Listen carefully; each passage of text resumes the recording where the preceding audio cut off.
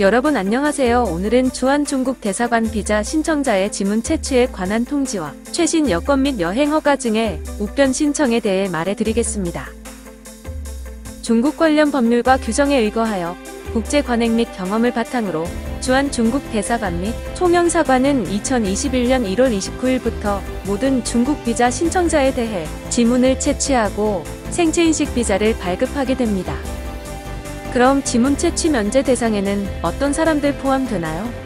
1. 14세 미만 또는 70세 이상인 자, 2. 외교 여건을 소지하거나 중국 외교, 공무, 이후 비자 발급 요건을 충족하는 자, 3. 동일한 여건으로 동일한 공관에서 5년 이내에 비자를 발급받고 지문을 등록한 자, 4. 10개의 손가락이 모두 없거나 10개의 지문을 모두 채취할 수 없는 자 등입니다.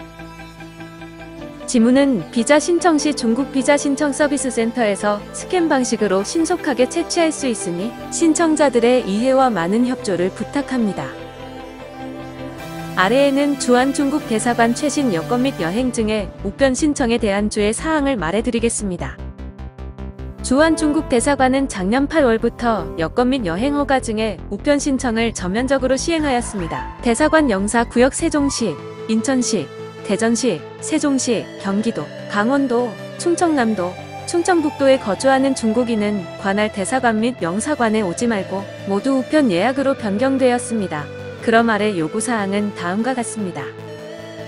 1. 신생아가 태어난 후 처음으로 여권 또는 여행 허가를 신청합니다. 2. 일반 여권이 만료되었거나 유효기간이 1년 미만이거나 비자 페이지가 만료될 예정이거나 외관이 크게 변경된 경우 3. 여행 허가가 만료되었거나 유효 기간이 반년 미만일 때 4. 여권 또는 여행 허가증 분실, 분한 또는 손상됐을 때 5. 귀국 허가증 또는 대만 동포 허가증을 소지하지 않고 새로운 여행 허가증 신청할 때 6. 해외 체류 목적 변경으로 인해 공무용 여권 원본을 일반 여권으로 변경해야 할 때 등입니다. 아래에는 여권 또는 여행 허가증 우편에 관련 예약 사이트, 취급 전화 및 이메일 주소입니다.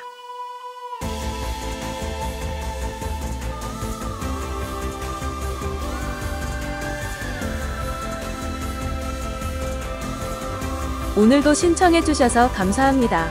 더 빨리 정확하고 유용한 소식들 올려드리겠습니다. 구독, 좋아요 부탁하면서 좋은 수요일이 되세요.